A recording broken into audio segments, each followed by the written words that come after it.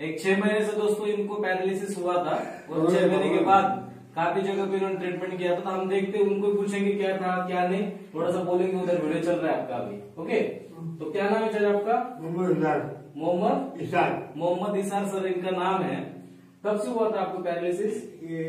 छह महीने। छह महीने हुआ था। छह महीने से दोस्तों इनको पैरालिसिस हुआ था बिफोर आफ्टर लॉकडाउन से पहले। हाँ। और कहा कहाँ बताया था चाचा आपने? घाटी। घाटी में बताया था औरंगाबाद की और बदनापुर। बदनापुर में भी इनका ट्रीटमेंट चालू था। इससे पहले घाटी में बताया बदनापुर में बताया। बाद में आम आए। बाद में? आम आए। आपके भी ट्रीट करे। ओके। बाद में आपने दवाई इन्होंने चालू किया। कौन सी दवाई ले चाचा आपने? ये। ये इम्यूनोडॉक आर्थोडॉक प्लस ये चार दवाई दोस्तों पिछले दो महीने से अंकल ले रहे हैं। उनको ही पूछेंगे अभी उनको कैसा लग रहा है? अच्छा लगा। नब्बे तक अच्छा हुआ। नब्बे टक्के उनको अच्छा फ़र्क गिरा है। हाँ। पहले बात भी नहीं कर पा रहे थे जब हाँ। हम आए थे तो ठीक से बात नहीं कर पा रहे थे हाथ नहीं हिला रहे थे। लेकिन अभी आप देख सकते हो दोस्तों इनके पैर में भी थोड़ी बहुत सूजन भी अभी कम हो जाएगी।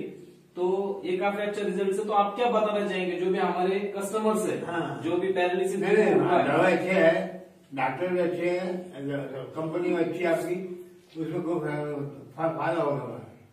Thank you